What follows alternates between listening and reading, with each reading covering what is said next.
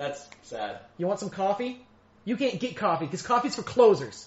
Wiener, wiener, wiener, wiener, wiener, wiener, wiener, wiener, wiener, wiener, wiener, next to another wiener, wiener, wiener, two wieners alongside yet another wiener, wiener party, wiener party, party party, wiener wieners nice and soft, non-erect wieners, flopping wieners, flopping wieners, dangle wieners, dangle dangle wieners in my bag. Stop, please! I can't take anymore! Welcome back, Night's Watchmen, to another hashtag Milkbags episode of Sorry. Ga- uh, Cast in the Darkness. This is Matt, This is Clay. and we are joined once again by. Kristina. Hey, that's exciting. She said something really early this time around. We're going to be talking about episode two of HBO's The Game of Thrones. The Game of uh, Game of Thrones. Uh, Game of Thrones. No, This episode- HBO's Game of Thrones. Is it just Game of Thrones? Yeah, It's just, just Game, of, Game of Thrones. Thrones. That's wrong. This episode is entitled The Kingsroad, and as you would expect, this episode is going to incorporate an awful lot of riding on horses. Mm-hmm. Before we get into the episode itself, we have some podcast news that I wanted to get into. I think I figured out the GoPros. Yeah. Uh, that first video that we did, I still haven't figured it out. I'm still working on figuring out Oh, how to do the, all the multicam stuff. Yep. That's gonna be my project for like Christmas and New Year break and stuff, or Yeah. maybe even my vacation in March. We'll see. but for now, the single camera shots are working really well. I'm able to edit them down pretty easily, and I got the first one up on the YouTube channel now. By the time you listen to this, I should have another one up. So we're gonna go into some uh, Game of Thrones hits. I haven't done Game of Thrones hits in a couple weeks, and when we did the podcast two weeks ago, I completely forgot that I'd been working, cultivating, curating a document with some Game of Thrones hits. oh. I have uh, one story here that probably bears more discussion later on, maybe on the blog. But the Brisbane Times had an interview with George R. R. Martin, Yep. and they discussed, or they asked him the question, whether or not he would be interested in sharing the rights to Westeros with other authors, um, in the same way that uh, Ludlum did with the Bourne uh, series, and George Lucas did with Star Wars, like letting other people write in his universe, which has led to some excellent expanded universe Star Wars stuff. It's led to five or six excellent Bourne stories that you wouldn't have gotten Wouldn't if have. Robert Ludlum hadn't shared this, the universe. Pretty sure Robert Ludlum said he was done with it at that point. Basically, yeah. George R. R. Martin said, "Fuck that." No, it's all him. It's all on him, and he's never sharing the in, the intellectual property. No one is ever writing Westeros except for him. Oh, really? That's really disappointing. It's incredibly disappointing because he doesn't have enough time to write all the stories that could be told. I feel. Well, the in the example in Star Wars expanded universe, the expanded universe for Star Wars is the best of it. That's right. Like you have six movies, and then we're going to see three more in the next few years. Yeah, But the expanded universe stuff is actually where you get the depth of the story. that's the stories you learn about all of the all of the rest of it. The elephant in the room, Robert's Rebellion. Exactly. We don't have that story. You don't have that story. That that, that entire time, you can do that full story. We could, like, just the story of Rhaegar Targaryen. Yeah, who who this man is? Because the Exactly. only thing you see is in minor flashbacks, and you think, oh, this guy's pretty cool. Oh no, wait, he's a dick. Oh wait, no, maybe he's not. So you don't know who this guy is. And okay, maybe it has to happen after book seven comes out when all of the secrets come out. Yeah, Those stories need to be told. I think. I mean, Mhm. someone will write them after he dies, yeah, exactly. Whether Someone's gonna it's- whether whether it's authorized or not. those those stories are going to get written, whether or not we know about them. Because if it's not authorized, it'll get squashed and put into I just don't want Fifty Shades of Thrones to happen. truth. So I didn't like reading that out of that interview. Eventually he'll die, and eventually his estate will break up the the all of the intellectual properties that he owns. And at some point we'll get more stories. But I don't want there to be like a ten year gap between book six and book seven because he never authorized anybody to write them. I don't want there to be like this dearth of story just because no one's allowed to write them. Mhm. And I think that I even think- really, I would be really, really excited for Brandon Sanderson to finish the series because that man writes twists like a crazy. I want him to start now. That being, Let's I let would George agree R. R. completely. Martin write his short stories and do his cons, and let's let Brandon Sanderson finish the series. Yeah, because that man puts Because out that a series pile would be of- done. Okay, the next hit uh, is just so great news. Telltale Games, Mhm. who published the Walking Dead story, the adventure game that came out last year, um, has been rumored to and subsequently has been confirmed as making a Game of Thrones game in the same vein as the Walking Dead game. A Game of Thrones adventure game. That is fantastic. Th- I wrote here, Telltale Games might just finally give us the Game of Thrones game we deserve. Yeah, the I've I've never played any of the Game of Thrones games. They're terrible. There's one really awful strategy game and then one even worse role playing game. But this, like the Telltale Walking Dead game, I've played a little bit. I've I've seen a lot of videos of you know the YouTubers playing, mm-hmm. and it looks enjoyable. It's it tells a gorgeous story. It's not the Rick story. It's just you know That's the cool. stories of other people in The Walking Dead. The idea of doing something like that for Game of Thrones, just you know six stories of people living in Westeros or Essos mm-hmm. during the time of the series, Yep. and then just living through their experiences. That seems amazing, and it seems exactly like what I want out of potentially other books, hmm hmm but interactive. Okay, the last thing that I wanted to hit on for the hits. People.com. Yeah. I know, People Magazine, whatever, tabloid, celebrity gossip. It had a story on its website, Thanksgiving themed. It was the best turkeys of the year. Okay. And Ashton Kutcher Yep. wins Thanksgiving because his turkey was giving birth to a little vinyl Daenerys Targaryen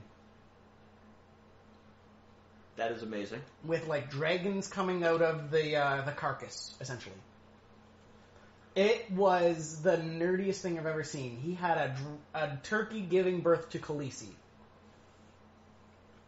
and That is it makes no sense at all. But it was phenomenal.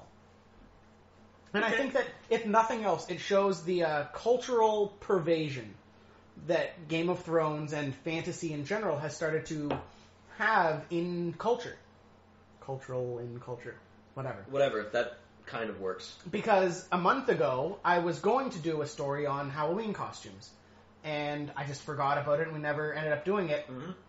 I mean, I did one, but I had another one. It was Kristen Bell and Dax Shepard Mhm. got married a couple months ago. Yep. Yep. And uh, right before their wedding, Kristen Bell had a tweet that she said that she finally found her the underwear she wanted to wear at her wedding, and it was a set of three thongs that were all Game of Thrones related. Like one of them was the Stark wolf, one of them was just the Game of Thrones symbol, and then one was like the three dragons of the Targaryens. Mhm. And for Halloween, they did a couple's costume. Dax Shepard was called Drogo, and she was Daenerys. Mhm, mhm. And I mean, I think that even in mainstream pop culture, we're seeing sort of a an underlying geek ripple start to flow through, and people are starting to identify more with our side of pop culture. Mhm. Whereas for years and years and years, people idolized celebrities as being what pop culture was. Mm-hmm. Whereas e- we're finding out now that even the celebrities kind of find something that transcends all of us. Yeah. Well, I think that what's coming out now is in in previous times, celebrities kept their geek styles away from wasn't in the in the Like in their the, actual personalities. the actual personalities, mm-hmm. what they, what they actually enjoyed, kept it away from the media because you didn't know. But with such people that are coming out now that are avid geeks, uh, Jennifer Lawrence comes to mind. She doesn't give a shit. Um, the oh man, did you see her on Daily Show? She was so drunk. oh really? Oh, it was crazy. I, I completely missed it. No, um, the uh, uh, Chris Kluwe as the Yeah, punter yeah, yeah. for Minnesota Vikings. He past is not years. anymore. He was He- this- this season- Raiders now, I think. The this season, no, he tried out for the Raiders, uh, but uh, they went with the other guy. He's he is literally on call with about three different people if they're punter kicks. I love that dude. But Chris Chris Kluwe's example is a punter. The man is obsessed with uh, miniatures games. At Chris underscore Warcraft. Yeah, Chris underscore Warcraft. His picture is Venethrax from War Machine. Mm-hmm. a model that he has painted himself, and he's converted and like green stuffed and made cloaks for a bunch of miniatures. This, these people that are, are our idols, the people we go after, we're realizing that they have the geek side too, and we're and it's it's all coming out that all of us, the the geek culture is coming out as being um, Normal. normal. As everyone is, everyone at this point is now realizing, oh, this, so we're, us freaking out is, is normal now about things. Like you said, there's not a player in the NFL right now that doesn't play video games. He said he was surprised Yeah. at some of them. Uh, like he said, there's guys that played. There, there was one guy that he played with that was obsessed with the Final Fantasy series. Okay. So we've hit on all the Game of Thrones hits that I wanted to discuss. Oh, is your phone gonna be a bitch this time? Whoop, whoop, whoop, whoop. okay. Put it on silent. Well done, sir. So let's get into episode two of HBO's Game of Thrones. Yep. We're gonna watch it uh, with the volume low, not off like last time, because there are a couple scenes where I didn't even remember what was happening. Oh, okay. There was one thing that I really wanted to discuss, What? and I discussed it last night when we were watching this uh, over. The sun in the intro Yeah. appears three times in the intro, Yes. and each time it actually does what we wanted the show to do. Each time it talks about the history of Westeros. So the first time the uh, the sun comes up, the band that it's showing is actually Aegon the Conqueror with his dragons conquering Westeros.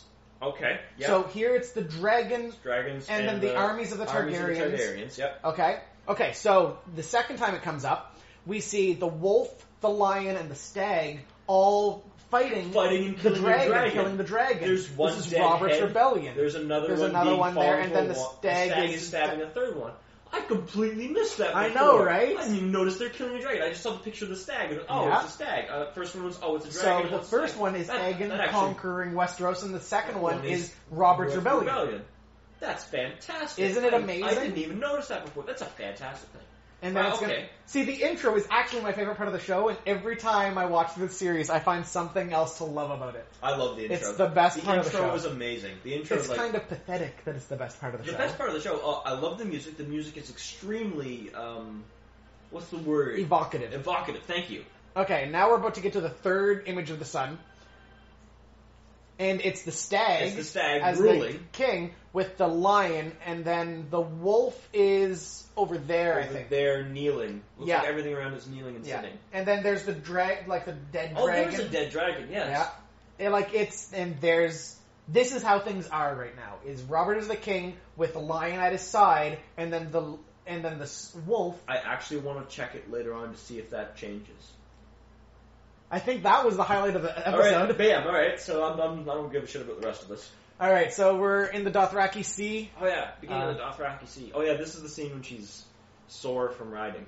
That's right, yeah. And her being sore from riding is basically her entire story this episode. Because she's either riding a horse or she's riding her husband. Boom pish.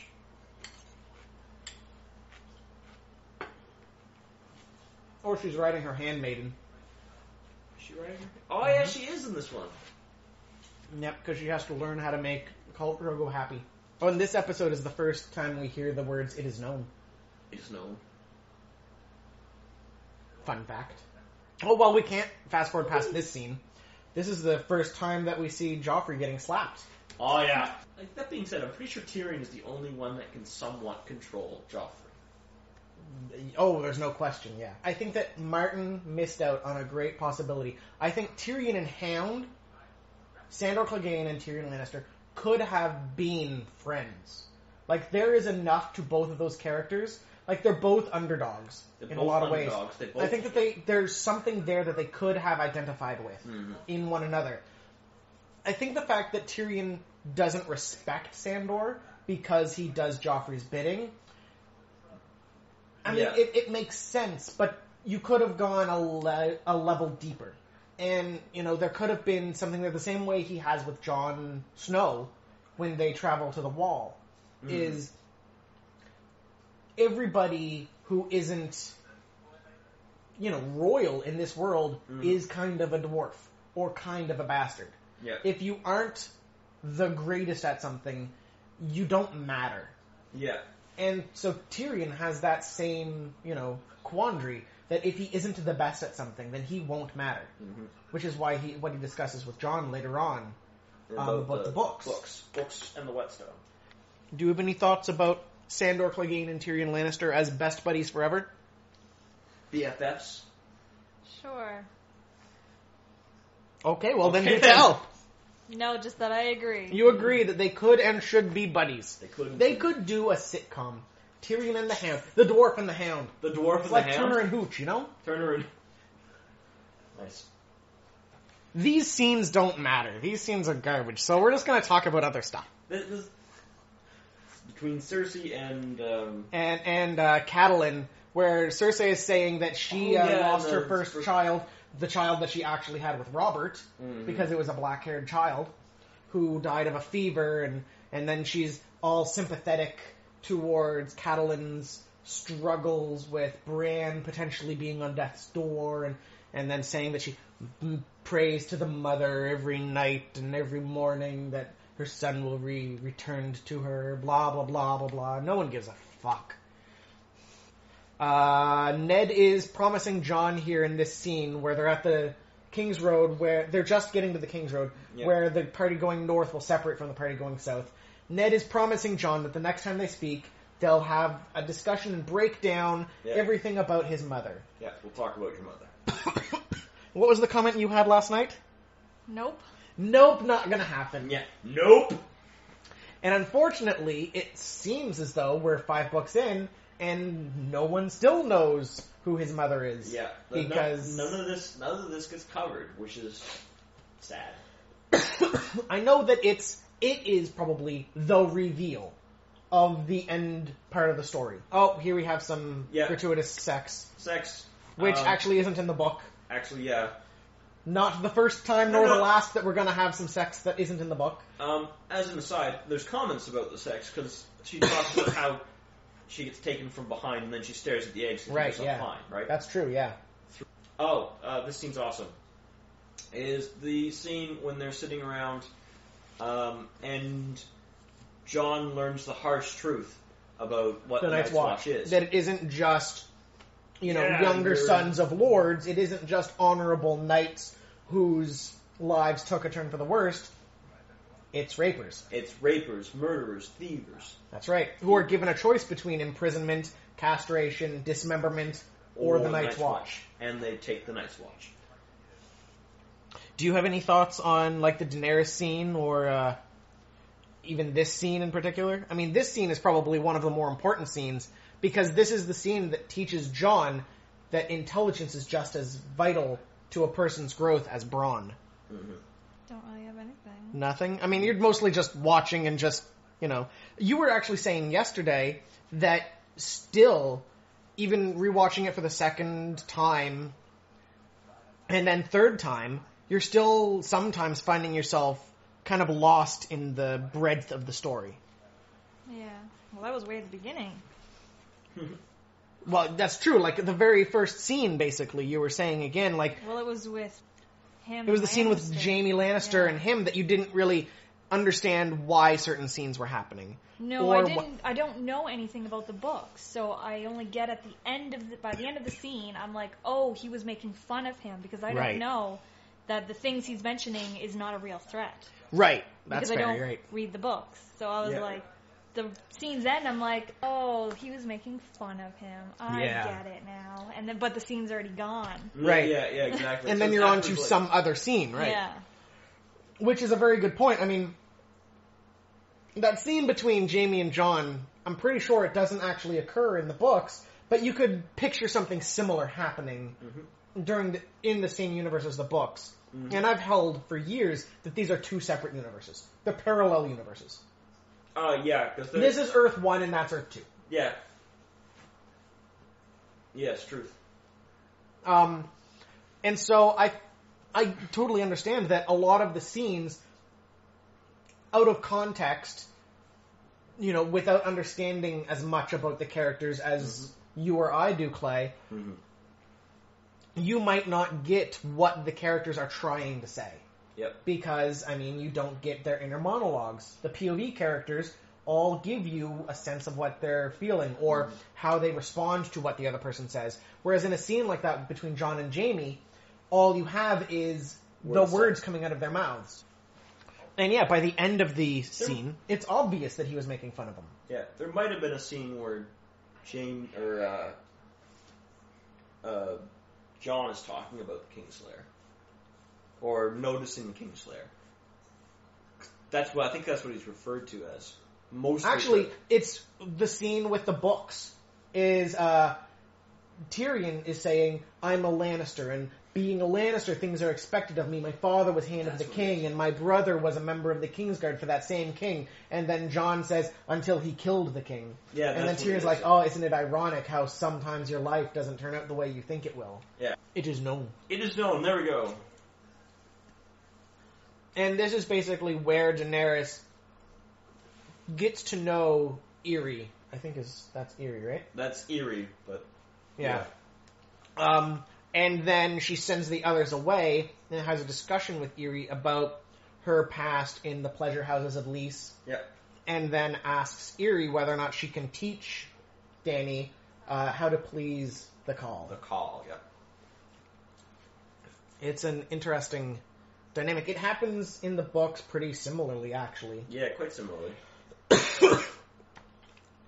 However, I find it really funny that this is the scene that they choose to have no nudity.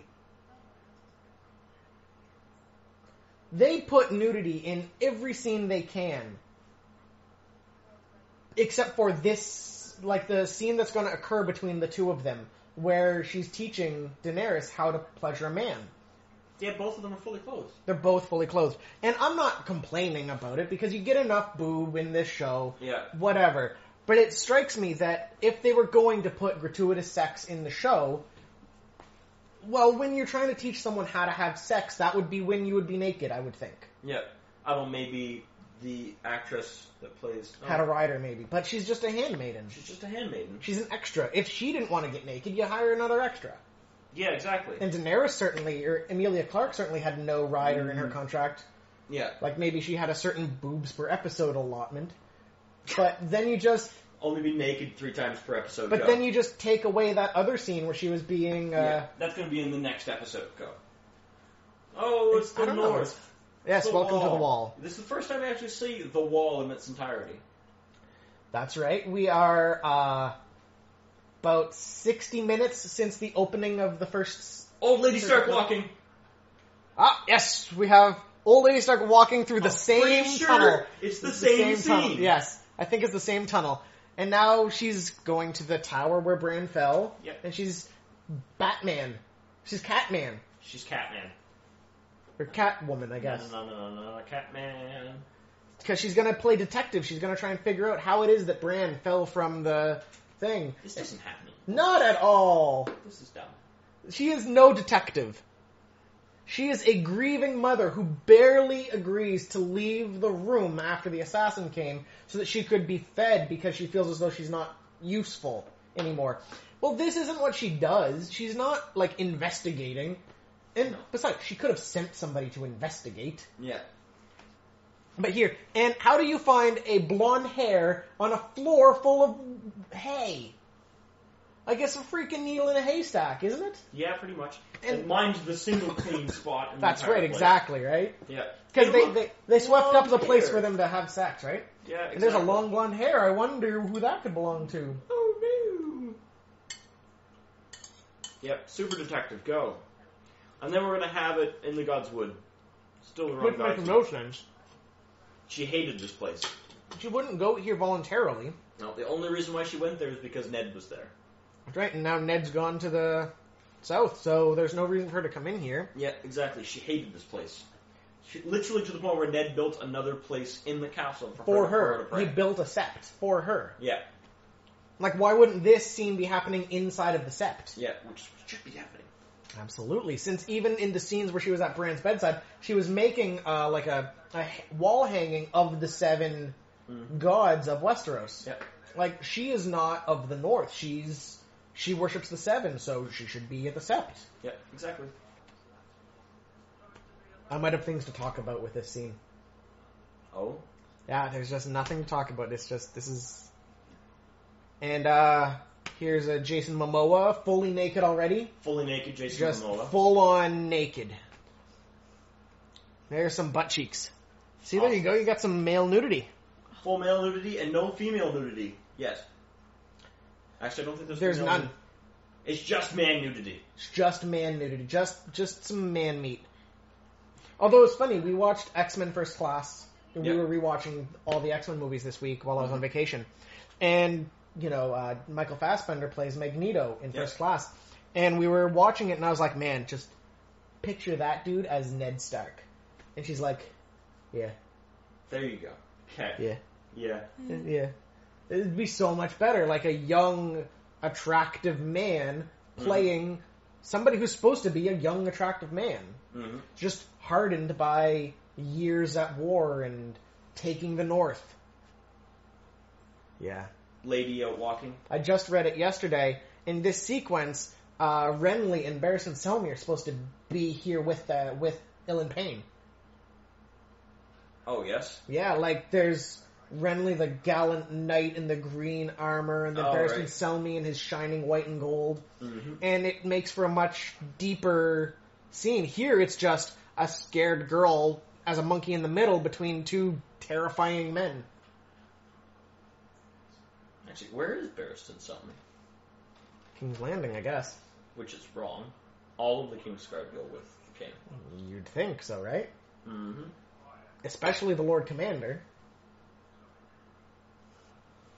And I think that should, right there, be evidence that Joffrey's lying. If his argument is shut up. What I don't understand is why he obviously doesn't have a whole lot of respect for his wife, but yet he listens to everything she says here. It's a very good point. That actually, I don't think ever gets really explored. That, Because at the beginning of the conversation, he told her to shut up. right. But for the rest of this scene, she decides everything and he just goes along with it. Right, yeah, because she decides that Well, The she's wolf the one who die. brings up Sansa, Sansa and right? asks her questions. She's the one who questions everything and makes him do whatever she wants right, about yeah, the situation. and and convinces Robert to take Joffrey's story for it for the most part. Yeah. No, that's an excellent point. I mean, especially as it comes to killing the dog, killing the direwolf. hmm That you know, it's Cersei's decision to have the direwolf killed. yeah. in the book, it's actually a bit more of a scene. He he argues with her, says that there's no reason to kill the wolf, but she says that this isn't the man that I married. The man that I married would have had a wolf pelt at my bed by nightfall, because he would have been brash and and just done what I said. And so he, I guess, he feels cuckolded or something in some respect. But it's But you don't get that. not at here. all here. You just get him listening to her. Yeah. After clearly showing that he does not respect anything she says. That, and that's the resounding theme that you should be getting is that he doesn't love her even a tiny bit. The other thing that I don't get about this whole scene is if nothing else, shouldn't Sansa hate the Queen and Joffrey for what they do to her direwolf? Like, Lady Same. means so much to her. Yeah. You'd think that she would hold a grudge. And she to the point where she has extreme pride in her training of being able to train this dog to act so well and so obediently. To be a lady. To Yeah. be a lady, that this this dog is like beyond. Um, It's not a direwolf anymore. It's it's being trained and treated and groomed like a lady of the court. And she has that's the only thing she has pride in, really, at this point in the story. Mhm. And it's stripped away from her by the queen and the crown prince. it's it's her achievement. Yeah. And instead of holding a grudge and going back to the Starks and finding that love for her family again, she just goes right back to the Lannisters and begs essentially for them to continue loving her, even though we see no evidence that any of them feel anything for her, except the possibility of using her to advance their own motives. Yeah. Yeah. Nodding. Nodding. Yay. Okay, so we just finished episode two, The Kingsroad of HBO's Game of Thrones. Mhm. Do we have any uh, overall thoughts about the episode? Mhm. You had mentioned last night that you didn't really enjoy it.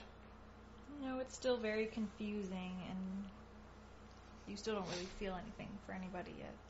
That's true. I mean, I find that you maybe learn to care about Jon a bit more. Although, I guess not even Not really. just because he doesn't actually experience anything yet. No. You get a sense People of talk to him, but he doesn't even respond. not really. No, you're right. I mean, the scene with Jaime and the scene with Tyrion, it's mostly Jaime and Tyrion talking to him, yeah. teaching us through Jon. Maybe, maybe that's the key: is that Jon is us. Yeah. And we know nothing. I mean, I think at this point you know you're supposed to not like Jaime Lannister. And you definitely know you're not supposed to like Joffrey. Because Joffrey's a little bitch who lies in order to get See, I found in this one I didn't like Cersei more than Joffrey. really okay.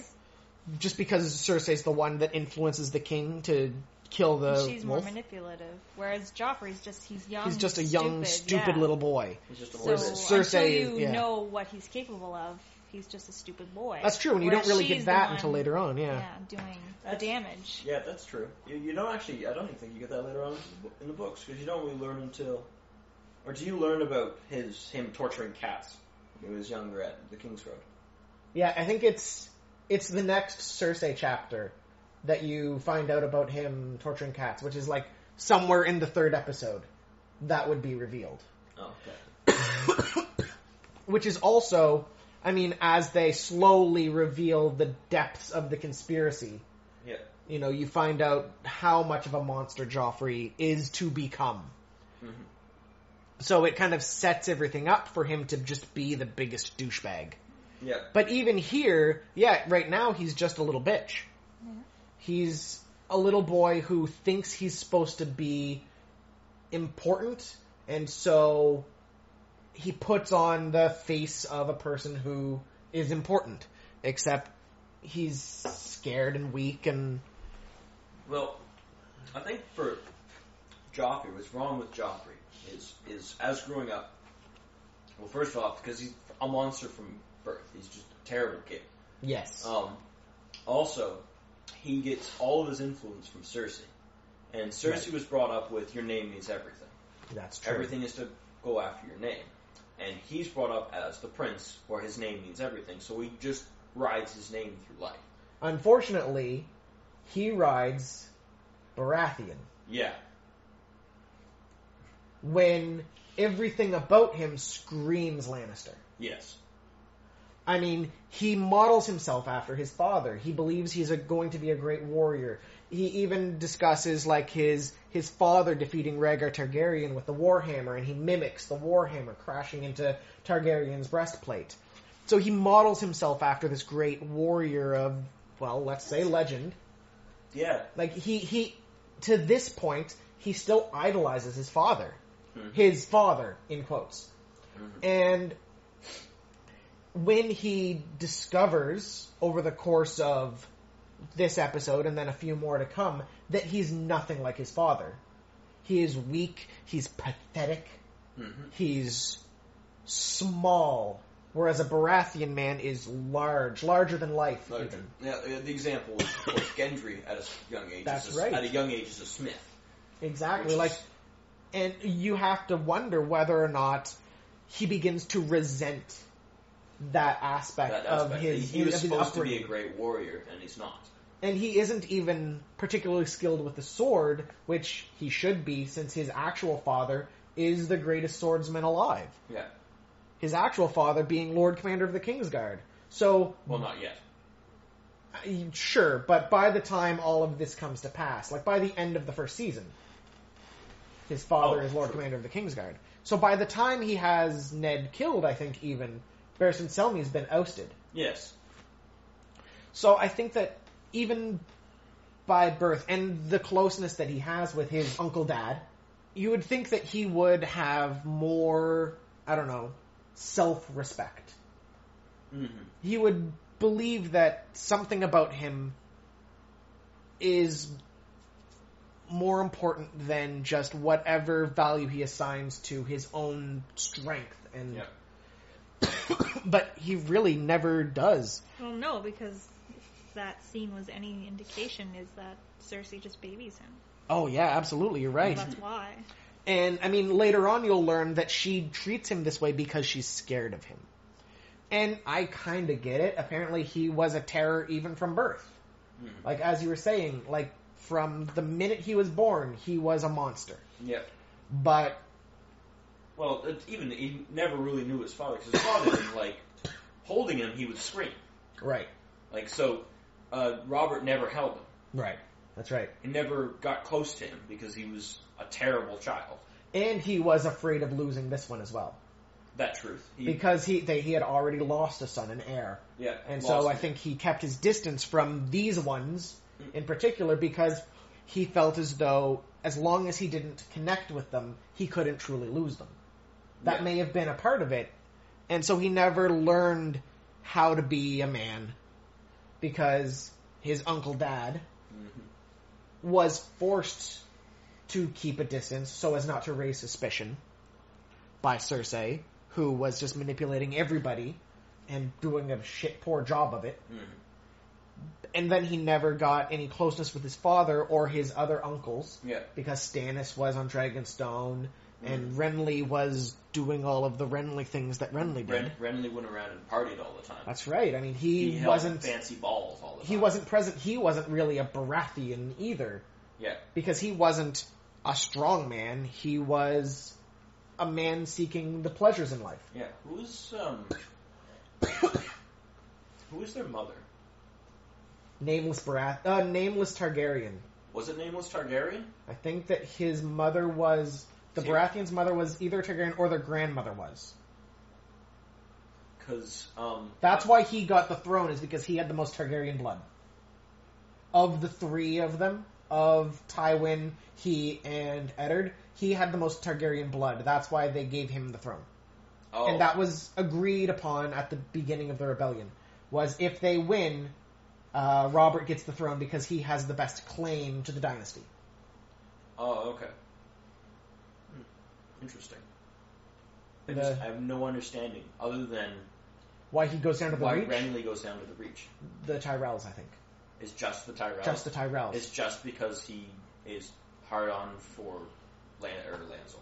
uh, Loras. Loris. Yeah, he falls in love with Loras at probably the turning of the hand, Mm-hmm. and they begin their love affair. And so when the Clash of Kings starts, he follows Loras south, names himself king on the Iron Throne, and then uh, him and Mace Tyrell probably begin negotiating for Margaery. Mm-hmm.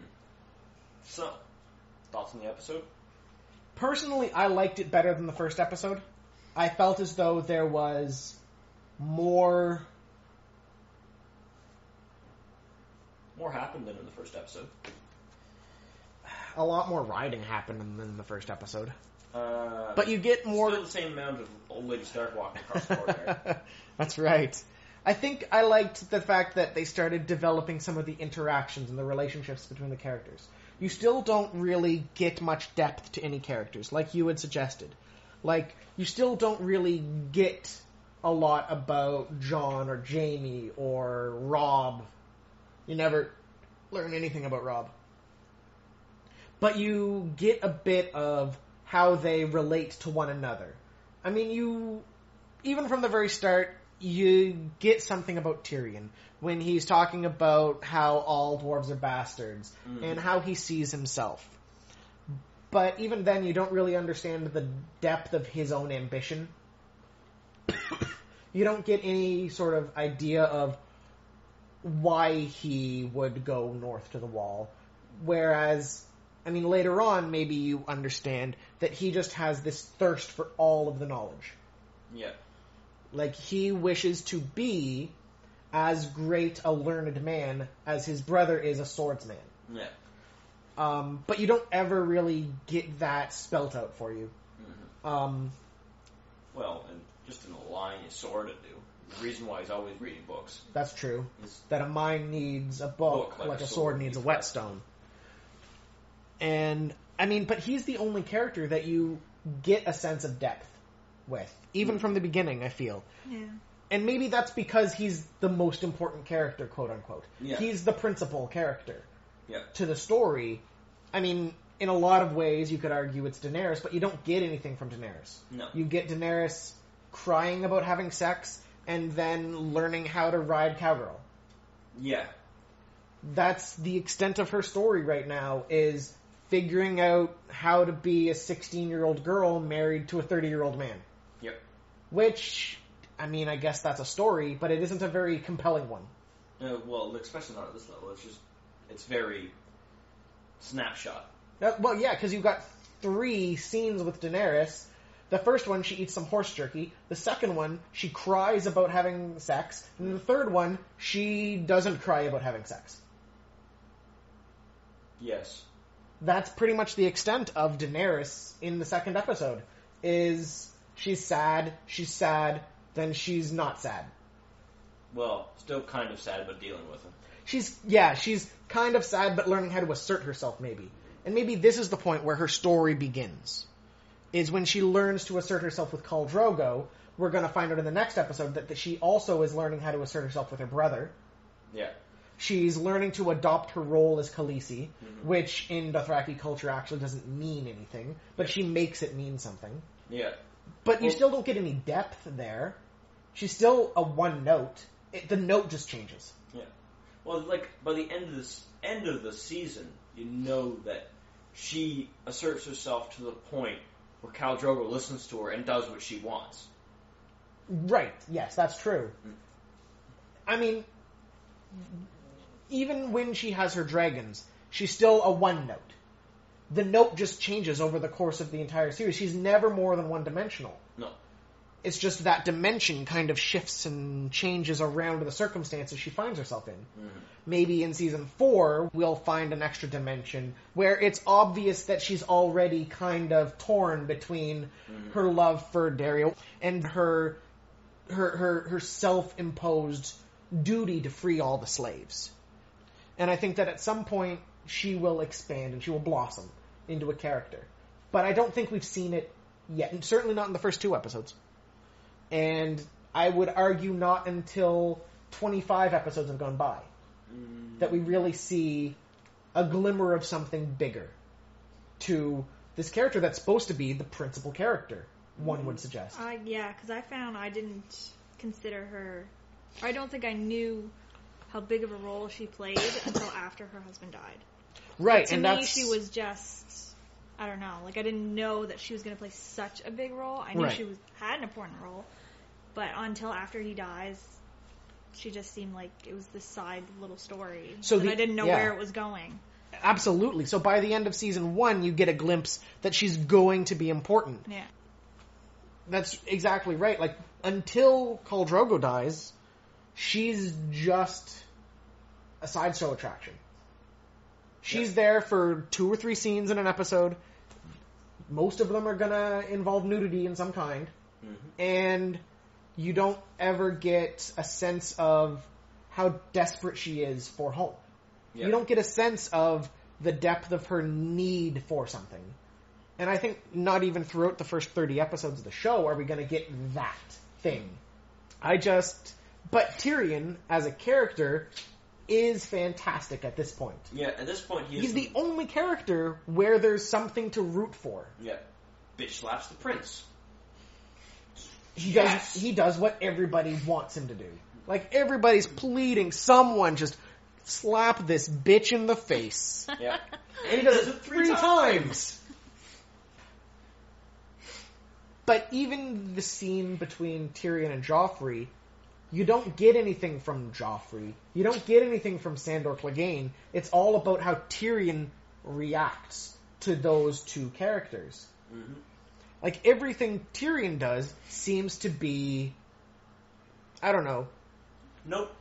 The, the the thing that's interesting about that scene is Sandor Clegane does nothing.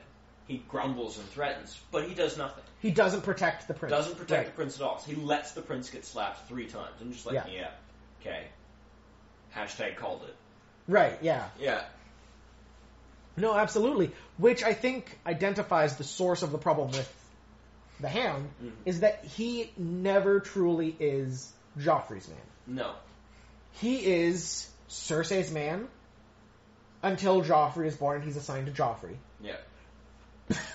But principally, he's his own man Yeah. until he, you know, finds that he has this compassion inside of him for Sansa and then Arya. Yeah.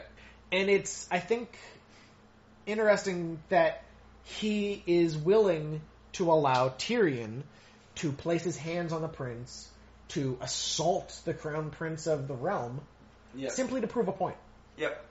And Sandor is proving a point to himself too that he is willing to and able to let Joffrey just suffer the consequences of his own actions Yeah. without any sort of recourse Yeah. because he never gets punished either. But would that not have, like, he would be allowed to?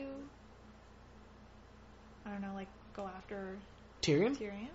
Because isn't he like? Well, well, the, the Well, he's not a member of the Kingsguard right now. He is a knight that is assigned to protect Joffrey as his bodyguard. He is a knight that is pledged his uh, sword to the Lannisters, like the House Well, Clegane. exactly. So Yeah. how can he go against Tyrion when he's uh, a by, Lannister too? by committing treason by slapping the crown prince. Well, yeah, I think the issue is that the crime that Tyrion committed is greater than the crime that Sandor would commit by punishing Tyrion for Oh, doing so. Yeah. Because Tyrion assaulted the prince. I mean, that's fact. Case in point, I mean, there's no defense for that. Yeah. There's no defense. But Clegane lets Tyrion get away with it because he, I think he realizes, even early on, that Joffrey is nobody worth protecting. For example, but the, you don't get any of that from that scene. No, that's right. It's all it is is undertone. Like you don't actually get any of that. Because Yeah. the only thing that scene showed was that, yeah, like Tyrion can somewhat control Joffrey, and Right. that he was allowed, like he has that authority to do that. yeah, That's because right. no one stops him. no one stops him. Yeah, exactly. And Cersei will threaten him later on hmm uh, with some form of unknowable punishment for treating Joffrey badly, but never follows through. No, probably because she's also knows that he's the only one that can control. That can control she can Joffrey. never can.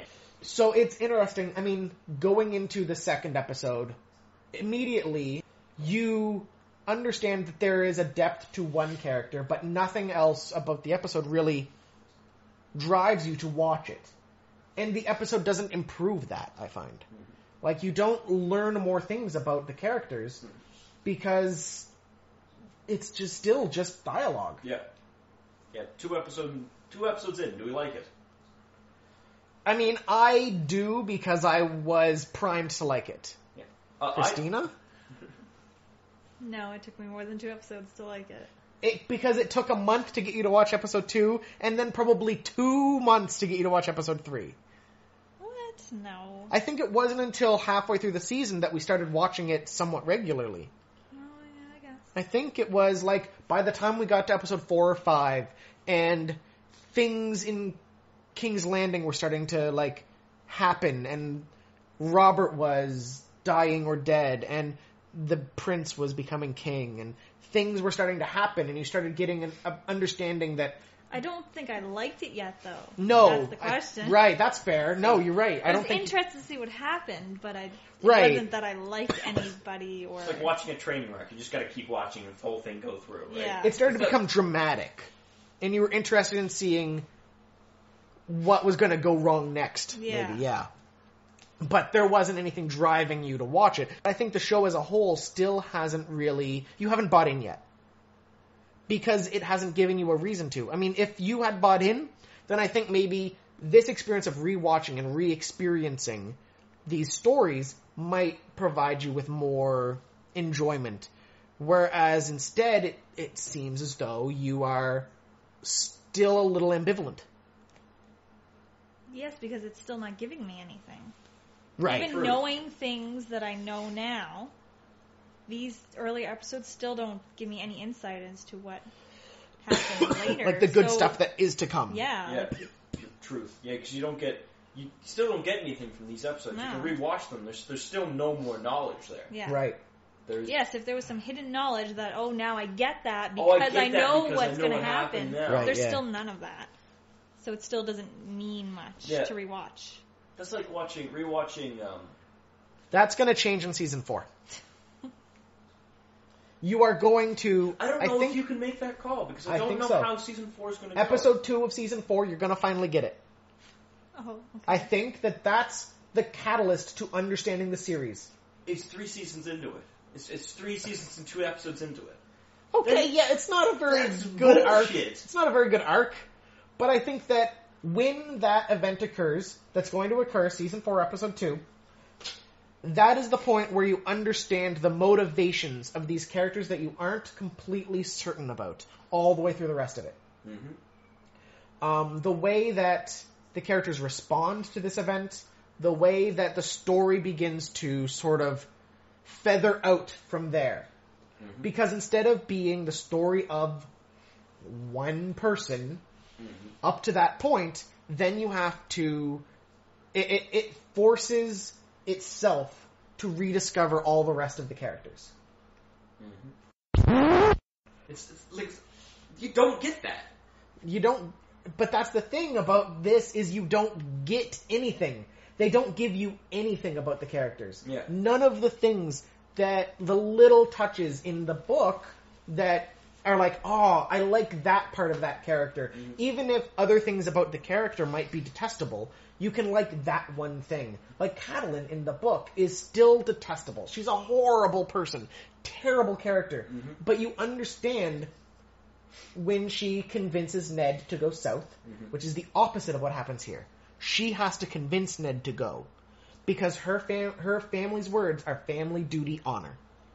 And she believes that the only thing that's going to save the Stark family from the king is if Ned goes south in order to fulfill this duty and take this honor because she feels as though if he doesn't go, then Robert's going to suspect him and then destroy the family. Because he'll become paranoid of Ned. Mm-hmm. And so she sends him south to protect the family from the wrath of the king. Whom she knows is an incredibly wrathful and violent and dangerous man. Well, he, Even if he's fat and slovenly, he still has a temper the size of, you know, an inch mm-hmm. yeah, it still explodes in rage. Right? explodes in rage. And so that part of her character, the fact that she's willing to sacrifice her own happiness, her own value in order to protect her family, in order to do her duty and live with honor, that is the one thing about Catelyn Stark that is that's something you can get behind. You can understand that at least she's this thing. In the show, she's just selfish. Yeah. She's just a horrible person. Mm-hmm. All she cares about is herself and her own needs. She isn't even a Tully. No. All she cares about is protecting the things that. We'll finish, but All she cares about is, is, is protecting the things that she likes about her own life. Yeah. She likes having her husband around. She likes having children who can walk. Yeah. Harsh. Harsh, dude. Harsh. But she's not there to protect those things. She's there to experience them for herself. And without them, she loses a part of herself, which is what you get in the book is that she slowly deteriorates over time because she isn't ever able to come to grips with the fact that her family are Starks and she's a Tully. And she even loses her own daughter, who is the only thing that connects her to her own family. Mm-hmm. Sansa chooses the Lannisters over her mother, over anybody to do with her family. she does it for her own reasons, and I would argue that she does it in order to fulfill her own duties. Her, and she's there to protect her own family from the Lannisters. But Catelyn in the show doesn't give you any of those things. You had something you wanted to say. well, you said that you don't get an idea of what the Starks are. Right. For me, it could be wrong, but I found Arya was the closest thing because she was so similar to her father.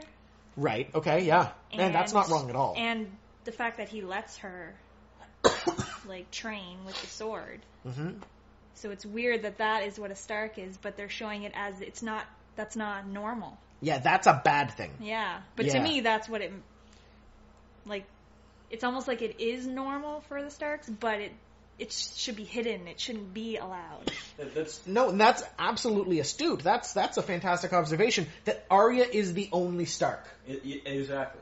Arya is the only Stark. Jon, you could argue, is also a Stark because he he embodies a lot of the hardness and the coldness and and detachment from fear and anxiety that em- that a Stark should embody. Because those three characters seem to have an understanding with each other: Ned, Jon, and Arya. And Arya, absolutely, they do. Like those three characters form the core of what it is to be a Stark. Yeah. And unfortunately, when Ned goes down in episode seven, I think you kind of lose the head of that three pronged dragon. Mhm. And Jon and Arya are so displaced from one another that they can't support, so they have to evolve from that point on. But they remain Starks even. Like while Arya is heading north up the King's Road with Yoren and the boys d- destined for the Night's Watch, she remains a Stark. She remains hard. She befriends Jaqen H'ghar. She befriends Drakanagar. You don't get you don't get her resourcefulness in the in the TV show. They have her resourcefulness with Tywin of her hiding herself amongst In plain sight. in plain sight. Yeah. You, you don't get that resourcefulness um, in the books because that whole scene's not there, which is actually I think a disservice because I think that scene is fantastic. That's my favorite scene of her at Harrenhal. I have a lot of issues with that scene because it shows Tywin in the wrong light It does. It shows Tywin as soft. as soft, which is he's not. He is supposed to be the hardest man shy of Stannis Yeah. in Westeros. Yeah. Um. Anyways, that's the. But her, even throughout her entire voyage, we're we're talking a little girl. She is able to free herself and her friends from Harrenhal, negotiate with uh, Jaqen H'ghar, befriend and negotiate with Jaqen H'ghar to get herself out of Harrenhal, Yeah. and then And then she's riding with Sandor Clegane and she outmaneuvers Clegane. yeah, At- like at certain points during their travels, she's better at some of those things than he is. yeah, And she admonishes him when he kills the farmer. yeah, which is really ironic considering parallel to that is the Jaime Brienne stuff, where they don't kill the farmer and then they get captured by Vargo Hoat. yeah. But you're absolutely right. I mean, Arya and Jon are the Starks. Yeah, that's And even Robb isn't a Stark. No. He's not hard or cold. He's still very much 100% about duty. It's his duty yeah. to go to war to avenge his father. Mhm. It has nothing to do with the coldness of the North and the fact that winter's coming. If he were a Stark, he wouldn't have gone to war. he wouldn't have gone to war because winter is coming. You actually have to go back and plan because remember the Starks, like the other ones, they're farmers. They're they're engineers. They making they're building so they can live in the north. That's right. That's also why Winterfell is so impressive. By the way, it's so because you can live in the castle in the winter. Right, that's right. Otherwise, you would not be able to. You'd actually have to live, leave the castle and live in the houses around the castle. Yeah. because it's too cold. It would be too cold that- in the castle. in castle, the yeah. to live. So they're they're architects and engineers. living in a They are they're. I They're mean, everything about living in the north and creating a place where you can Yeah. live and, and survive in the north in the winter. and winter's It's all about preparing to for the winter. That's is what right, the Starks yeah. are about. They're all about understanding that nothing is ever secure. Yeah, you can always lose everything. And Robb doesn't realize that by declaring war on the crown, he is sentencing his entire family to death, yeah, and sentencing and, and damaging his kingdom at that point, reducing they- his kingdom to ashes. reducing his kingdom to ashes because he'll leave at the point when the army is destroyed i- at um, the Red Wedding because it's destroyed at the Red Wedding because they all get large parts of his army get killed. He leaves the North completely undefended. That's right. And And the army of the, the Northmen are, are completely dead at that point. And That's that's uh, completely against the, the Stark ability that, that they're really Preparedness. prepared. They're Boy Scouts. They're Boy Scouts. They want to be prepared and they want to survive everything. Yes. It's, it's all about survival. It's living in the North and surviving in the North. Yeah, their words should just be "be prepared." Be prepared. Well, it's literally is winter is coming. Winter is coming. Be So prepared. be Absolutely. prepared. I mean, he should instead of going to war with the crown, negotiate a peace for his sisters. hmm Which is why the king who knelt is also a Stark. His action of kneeling Yes. protects everyone in the north Exactly. from Ares. I mean, he you- realizes that instead of fighting the man and having your place, everything being destroyed and killed, to save everyone and be sacrifice sovereignty Sacrifice in order to preserve the livelihoods of those that you were sworn to protect. exactly, Yeah, which is and, and the which survival, is the opposite of what Robb does. which is the opposite of what Robb does, and the the Ar- or, uh, Arya's ability at surviving by herself when she crosses the Narrow Sea with Sandor Clegane inside a Harrenhal. All of that are Stark traits. Her Yeah, resilience, her, her- resourcefulness, her resourcefulness and resilience and in the face of danger and never-ending uh, desperation. Mhm. She's constantly searching for safety and security, and she won't find it for a very long time. Being said, though, he is his character's pretty cool. Though he's Napoleon. Some aspects of his character are exceptionally cool. The rest of his character is exceptionally grating. It, it is Especially the shit with Talisa in season three. that that's all. bullshit. It's the worst I hated it. storyline in the entire show so far. Is him falling in love with a wet nurse or a nurse or whatever, a Whatever, wartime a- medic, a wartime medic. That's just dumb. and then marrying her to spite the entire mission he has undertaken. Yeah. And that's neither Stark nor Tully. That's not. That's that's just all It's Robb. all Robb being a dumbass. dumbass. Yeah, it's Which, admittedly, in the books, he is equally a dumbass.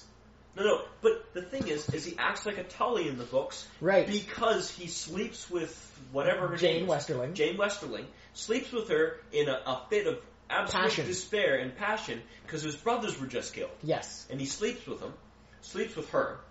Um, then he's just like, ah, shit, what have I done? I have, I have He's- just, just completely turned, Tarnished her honor. tarnished her honor. I have to marry you now. That's right. So he marries her. It, that's duty, Duty. and honor. Duty, honor. I married you to preserve your honor as a lady. Yeah. Then And that brings is, her back to mom. Um, sorry, fucked up, married her. and I, I admit that that is certainly the line of action that dooms the North. Yeah. By marrying Jeyne Westerling, he has doomed the North. Well, he basically set up himself to die at the Red Wedding at that point. Well, yeah, exactly. Because, I'm sorry. But in Walden the show, dick. in the show, they make it completely different. He just falls in love with her. Yeah. And I'm sorry, I get marrying for love happens now. It's what it's how two people come together in 20th and 21st century culture. But Not- 200, not 400 years ago, Not in this series. even in the real world, marriages were assigned. Like you, you would arrange a marriage in order to firmament an alliance or gain territory. The twins. Yeah, They, exactly. He promised he was betrothed to a Frey in order to gain the twins, the the bridge that they needed to cross in order to get to the Westerlands. Um, nobody in that history, short of one individual, marries for love. There's one person in the entire series and history of the series that marries for love, and that's Rhaegar Targaryen, and that's only speculated. Yeah, truth. Everybody else marries for politics because marriages are just contracts in this world and up until very recently in our world. The example um, between uh, Robert and uh, Ned is right in, the crypts. We shall join our houses. That's right, I join have a two son, houses. You have a daughter. We'll stick Join them our together. houses the way it should have been with him and Lyanna. Him and Leon. Exactly. Just right off the bat. our son, my son and your daughter will marry each other. We'll and then ally the Stormlands in the north. The Stormlands in the north, Yeah, and we'll get stronger because of that. that's right. And it's like And then the Westerlands, the Stormlands in the north would all be one giant happy family, theoretically. theoretically, but because at that point it would be all three of them. It would be Casterly Rock, the Stormlands, and Storm's End and and Winterfell. Stormwind and Winterfell will all be allied together in one right. family. And that would provide, again, in theory, an unbreakable uh, stranglehold on the throne. on the throne because at that point you would have this entire country would like a, a third of the country would be all set on the throne. Seven, Right. Seven kingdoms, right? Third, So more than a third. It would be almost nearly half. Nearly half, forty percent, forty-five percent of the Yeah. country would be throne, and the Yeah. other ones divided amongst themselves. Exact. Well, but even then, they would be subservient to those three kingdoms. Yeah. The only exception is Dorne. Dorne. Dorne has always remained a special case, though. Yeah, because Dorne is a special case. Dorne is amazing. Dorne, Dorne is my favorite place. So, are we satisfied with what we have discussed so far? I mean, there really isn't anything to say about whether or not we. Uh, That was the thing I thought. I thought wow, that's It's- funny. it- I I don't like that. You don't like that? That's not a good theory. I think it's hilarious. Um. So, uh, did was there anything else that we wanted to add? Was there anything else you wanted to talk about? I mean, we talked about the Starks and we talked about the Lannisters a little bit, and we talked about the Dany storyline, and those are the three stories going on. Mhm. I mean, there is a lot still to be said about, you know, what's to come for those stories, and then, I guess how those characters are still going to interact because we're going to get the Tyrion and Catelyn stuff Yeah. which I hate. Um, Yeah. And then we're going to get the start of the war, and things like that are going to come up over the next few episodes. But for right now, really all we have is characters we don't care about yet Yeah. interacting in ways that we don't care about yet. Yeah. Which is. Which, at this point in the storyline, you should be getting into the cool stories that you're going to enjoy with characters. Like, example, in this point in a TV show, you would have your, your you'd have your first one, your um, primer, Pilot, pilot. Thank you. you're Um, welcome. That that's your your major hook. It's your hook. That gets you into the show. The Now- pilot is supposed to be your best stuff. It's supposed to be your best stuff, the exciting stuff. Now, episode one is cool stuff. This is exciting stuff that we're going to entertain you for the It's a first 50 year old woman walking across a It's courtyard. a 50 year old woman walking across the corridor. Who gives a shit? I'm going to look at this golden hair extremely intently It's for some the next 30 it's, seconds. It's three dudes that are going to die, and we're not even going to hear about it again for another two episodes because they don't even talk to the people at the wall; they just see the wall You- in this you don't- episode. you So it's not until episode three that we interact with the Night's Watch. Yeah, exactly. So look, episode one, there's supposed to be cool stuff. Cool stuff you like, and then you're supposed to start liking these characters. You're supposed to learn more about these characters, and you're supposed to be starting to form like bonds with these characters, get attached to these characters. Episode seven is supposed to be a, a, a, a shocking break. You're supposed to learn major important things. You're supposed to learn like like what's important to these characters. Should be the catalyst to these characters. Should be hitting about episode seven. None of that's happening until season two.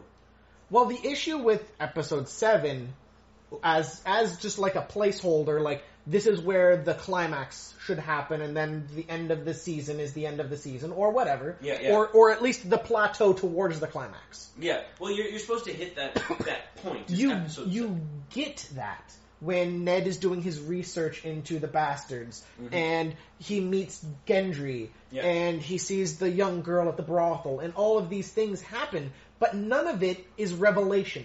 Because they ruined it in the first episode with that goddamn fucking scene in the sept between Cersei and Jaime. yeah. They ruined the whole thing. There's no surprise. There's No. no, oh my god, it from the second Joffrey's. Joffrey's a product of incest. That's amazing. I never saw it coming. That's why he's such a douchebag. Yeah. No, you, it's, it, they, no, they ruin it. They ruin the whole thing in the first episode. Yep. And I get it in the book. Understanding that in the book, you hear their thoughts. You develop caring and an appreciation for the characters because you hear their thoughts. You get what motivates them. You But- get all of the backstory. Yeah, I was gonna say in a book it's different to know their thoughts versus knowing that everybody else knows. Yeah. Right, yeah. So like in the movie. They're just talking about it. That's right. So that people know about it, obviously, if they're talking about it. I mean, Yeah. no, they try to keep it secret as much as possible. But in a book, if they're just saying it to themselves in their mind, it's different than if people Yeah. start finding out about it. we are on page 164 of a 780 page book or 806 page book. Yeah. Um, we are a quarter of the way through the book, give Yep. or take Give or 20 take. pages or so. Yeah.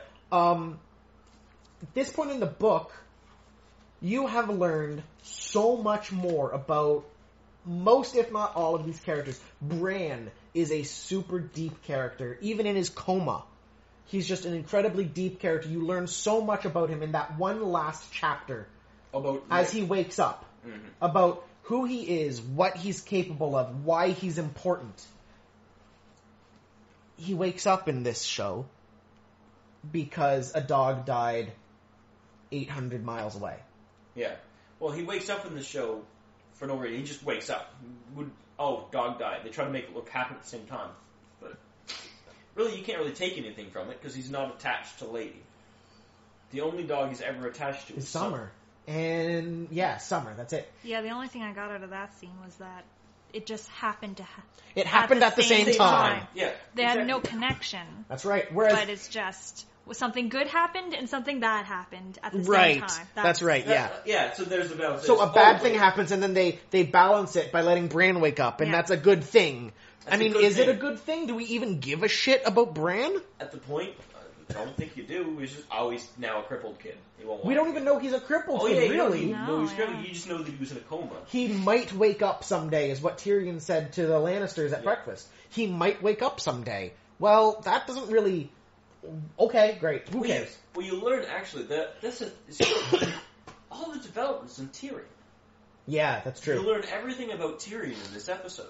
You get the Tyrion at breakfast, him talking about when he wants to to, Wanting to see, well, he wants to see Bran wake up because he wants to know what Bran will say. Bran, Bran will say, "What is what will Bran will say?" This is like, I'm, and then like um, wanting to go to the wall to see the greatest structure that was ever built. Right? Yeah. Because it's like this, these are important things, the, important things in this world. It's right? not just about courtly things. Courtly it's things. about the whole world. It's about the whole world, the, and and his want for other things. And then the line, um, sometimes I wonder what line, what side you're on, and it's like I'll never bet against my family. No, yeah, he says in here though, Jaime, you you injure me. You should know by now how much I love my family. Yeah, That's what he says, which actually is incredibly ominous. it's incredibly ominous because he hates his family. That's right, and Jaime should know it. Jaime should know that he hates his family, but yeah, because you don't know that Jaime, uh, that Tyrion always bet in the tourneys on Jaime. Yeah. because Jaime always won. Yeah. and he should like you know me. I never bet against my family. He Yeah. will never bet for anyone against Jaime. He will always bet for Jaime. That's which right. Is why he won all the tournaments. Well, yeah, Why he came out with all of this money. Why he's won all of this fame because he's always bet on Jaime. Yeah. And always rode Jaime to victory in the tourneys. that's how we'll find out the knife gets into the hands of the Lannisters Oh, because true, that 'cause- that 'cause- is Baelish, Baelish bets bet the, the knife, knife. on Loras, yeah, and Tyrion bets on Jaime, and Jaime wins. yeah. I'll get some- Okay, we're getting ahead of ourselves. We're We're getting, getting into spoiler ourselves. territory. We're gonna break this one for now. Uh, for the no, wait, let's do pimping first. Uh, what do you okay, want to pimp? so so tweet at us directly at, at cast in the dark. Play Uh, I'm at Clayton Flint. all one word, All one word. right? Uh, I'm at Esther Nafil at E S T E R N A E F I L. It's the first time I've spelt it for the audience. You, you- you ruined the thing. That's sad. You want some coffee? You can't get coffee because coffee's for closers. Ha- hashtag win- wings are for winners. Hashtag wings are for winners. Ah, that's Uh, sad. You still don't have a Twitter feed. Nope. Nope. So you're not gonna. You can't be twittered at. Can't No. be Twitter. Uh, if you want to tweet at Kristina, you can just tweet at the podcast, and I'll relay the message to her. We're at 75% girls. That's awesome. That's true. Seventy-five percent girl per podcast. It's just fantastic. We're awesome. We're gonna Offset wreck it next all week, of, though. All of the sausage festivals. Next next time it's gonna be uh next time it's gonna be an all boy cast though, which is kind of sad kind of sad. because we're gonna do uh the Lucy cast. Person you might have already met at this point. Uh, oh man, that that video is gonna take a while to edit. Uh, Because you're gonna have to edit out Andy every single time, just oh my god. laughing in a high pitched voice. My God. Luckily, I have waveforms in the video software that I use, so I'll just every time the waveform spikes, I'll know it's Andy, and I'll just delete that like five seconds. that five seconds of Andy Yeah, it's amazing, yeah. Oh my God. Uh, it was really bad though. That I don't were- know how much of that, like, how much of that are you gonna get able to get our voices out of it? there were a couple of moments where I know we aren't going to be uh, audible. Yeah, it was really bad for some of it. Most of it, it wasn't so bad. While they were Most just it. playing the game, it wasn't so bad. Yeah, it's there were a few enough. spikes, but it, It, was, just Andy's laughter in the middle of the game. It was just Andy, and then Ah. it was just when we're talking about the last few cards, is him laughing extremely loud, talking with that guy. he was having a conversation with some guy. They were all playing like a board game, and then he just have, started having another conversation, and that conversation was louder than everything else in the store, Yeah. and it was just unbearable. I got angry. I slammed on the table and yelled, "Would you shut up?" And he would not. It was very frustrating. All right, so that's going to do it for another episode of the Cast in the Darkness. Uh, for the podcast, I'm Matt. I'm Clay. I'm Kristina. Uh, until next time, keep your stick on the ice, Blake.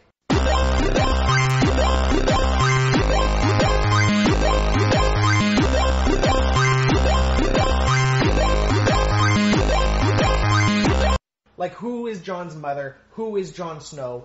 That is where Yeah. the story's going. Yeah, who is Jon Snow? I think to say Jon Snow is the ice part. In my opinion, this, this is me thinking. I think Jon Snow is the ice part of the Song of Ice and Fire, and the fire is Dany.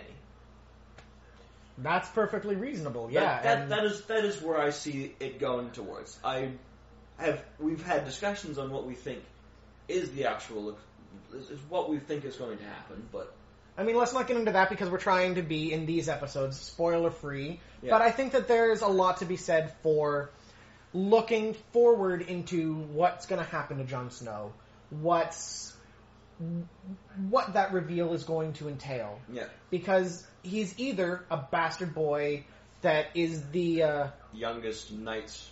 Oh, there's there's a Lord Commander of the Night's the Watch. youngest Lord Commander of the Night's Watch. Oh wait, who was he just talking to? Making fun of him? We're talking to Jaime Lannister, exactly. Oh, who is the youngest? youngest Kingsguard. Oh, what? Now we're talking to the youngest Lord Commander of the Night's Watch. Oh, about that. Hmm. And these are things that we're going to find in season four That's of the show. That's actually a really cool thing. It's interesting to That's know. an Yeah. interesting, interesting note. Is Jon, besides being a bastard boy, is surrounded by greatness. A, a seasoned veteran of warfare in his father. Right. Yeah. In in uh, Lord Stark, he's surrounded by uh, many people in uh, the castle that are veterans, people that are well known. Uh, Mhm. We've seen Soroy Case, whatever his name is. Um, Benjen Stark makes a few. Rodrik Cassel. Rodrik Cassel. Um, Benjen Starks makes a few uh, occurrences. So you're talking the greatest ranger that they've ever seen, right? Right. So these these people he's surrounded in the entire time he's growing up. So even as a bastard, he's surrounded by greatness. Even in his half brother is the greatest general. Robb, who will Robb will become become, the the greatest, greatest general, general. that Yeah. they've ever seen in the world. So these are the people that he's surrounded with in comparison to say the example of um, Jaime Lannister. Jaime Lannister, who's surrounded by the greatness of the greatest swordsman ever, then becoming the greatest swordsman ever, being named to the Kingsguard, a group of amazing knights and swordsmen. That's right. Yeah, and absolutely. And, growing up, he had Tywin Lannister, Hand of the King, as of the his, King as his as father. father. Yeah. So th- there's some interesting similarities there that I didn't notice until just now. Except for the fact that one of them gets to be a Kingsguard and the other has to be a Night's Watch because one of them has the name and the other doesn't. Yeah, that does. And the question is whether or not maybe Mhm. if Jaime Lannister had been Jaime Stone, Jaime. no, Jaime, Is it Jaime Rivers? it would be Jaime Rivers. Jaime yeah, Rivers. Rivers, of course. Jaime Rivers, right. Um, if he had been Jaime Rivers instead of Jaime Lannister, what would have happened to him? Would he then have become Which they have swapped places. exactly if Jon would, would Jon, Jon Stark, Stark go to actually King- Jon Stark would be heir to Winterfell because he's actually older than Robb. He is older. Jon Stark would be no. He's No, not. he isn't. He's- he's three months younger. He's three months younger. Yeah, okay, never Uh, mind. Jon Jon Stark would, Would have probably joined go the and join Kingsguard. the Kingsguard Yeah, for Robb Stark. that's right. Yeah, He would. he would have certainly when Robb declares as King of the North, he would have been the first member of his Kingsguard. Yeah, because he would have been his his closest brother. That's right.